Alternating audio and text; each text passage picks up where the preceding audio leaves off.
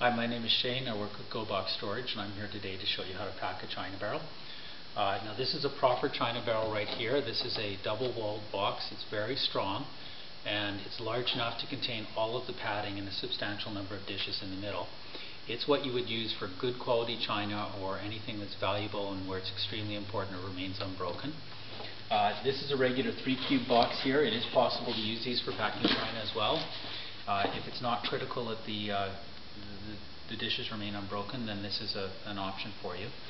Uh, first thing you do when you're packing is you pack uh, newsprint in the bottom.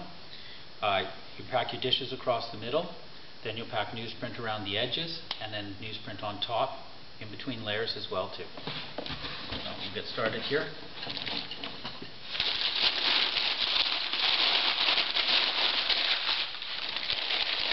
Now, the best way to pack is to wrap every item individually. If you're in a rush, you can also wrap every second item, but your chances of breakage go up if you do that.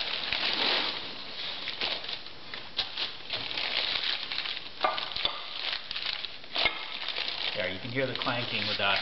Not quite as well padded, but chances are it's going to be fine.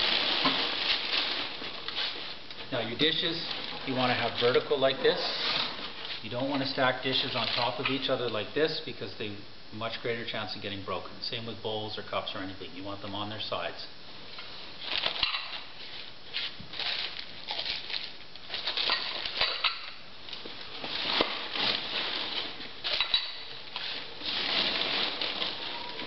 And again, we'll pack some uh, packing material around the outside.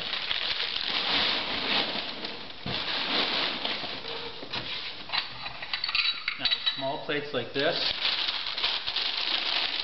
Couple of different ways you can do it. Again, you can wrap each item individually.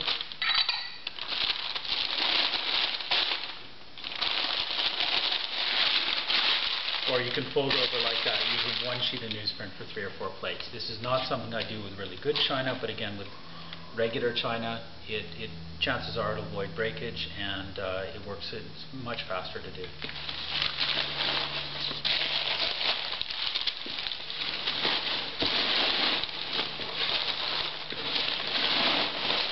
Okay, now once we have a layer of china inside the box, we will pack around the outsides.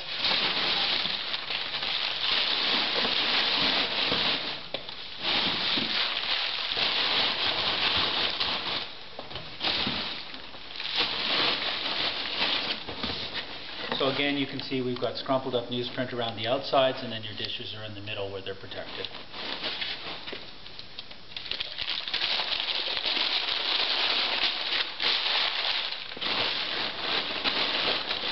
Okay, now that's pretty much a full layer there. In order to put more china inside, what I need to do is put some scrumpled up newsprint in first.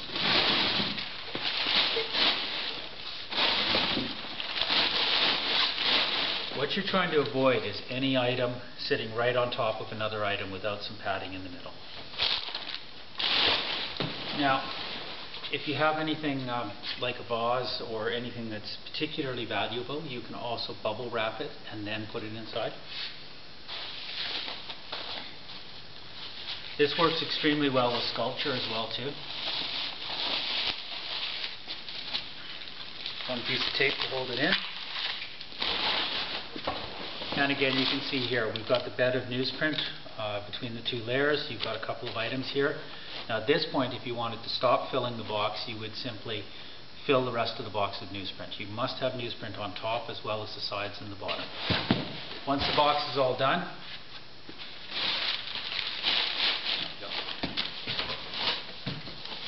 you want to make sure it's labeled. Label it with fragile, label it with what it is, and uh, make sure you label the top of the box as well as the front of the box. And again, this works perfectly well for regular china. Do use a proper china barrel if the china is valuable and if it's really important.